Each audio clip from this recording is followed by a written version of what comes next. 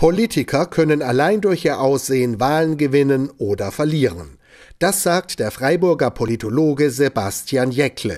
Er hat das Erscheinungsbild von über 500 Bundestagsdirektkandidaten und Bewerbern für das Repräsentantenhaus in den USA untersucht. In unserer Forschung geht es um sogenannte aussehensbasierte Heuristiken.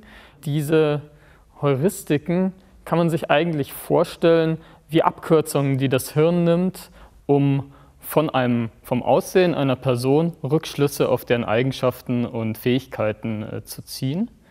Beispielsweise eben, ob man von einem äh, Wahlplakat aus Rückschlüsse auf die Kompetenz oder die Fähigkeit einer, einer Person hat, äh, wie, wie geeignet die letztlich für die Wahl wäre. Um sicherzugehen, dass allein Äußerlichkeiten den Ausschlag geben, haben die Freiburger Politologen ihre Forschungen mit Bildern von Politikern durchgeführt, die den Probanden gänzlich unbekannt waren. Wir haben die Fotos von allen Kandidaten genommen äh, und haben dann äh, diese Bilder äh, den Probanden vorgelegt in einer Online-Befragung.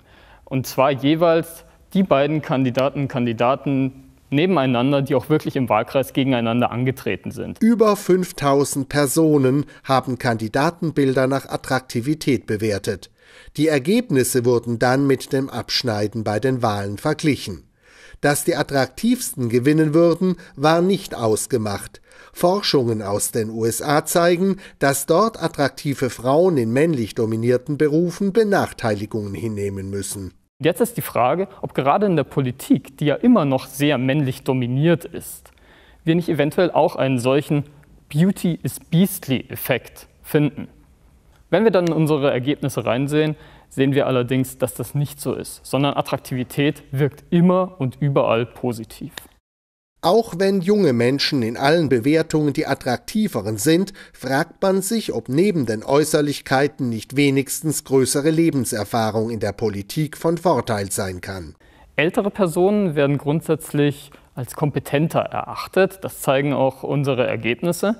Wenn wir dann zum zweiten Schritt kommen unserer Analyse und schauen, äh, ob kompetentere Personen auch häufiger gewählt werden, dann ist das in Deutschland in der Tat so.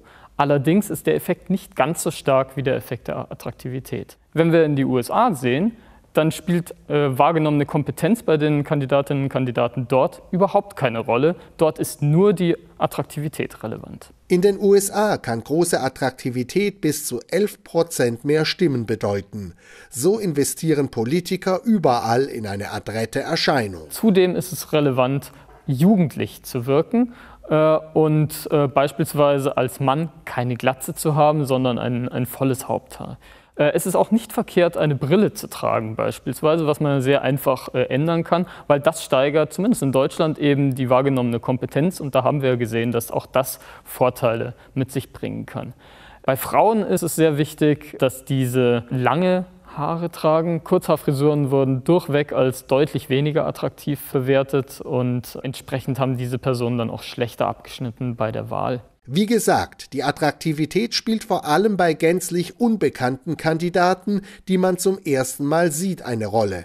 Sobald man jemanden schon kennt, wie Angela Merkel oder Wladimir Putin, treten oft andere Bewertungsmaßstäbe in den Vordergrund. Aber das muss nicht sein. So wirklich rational sind unsere Entscheidungen nie.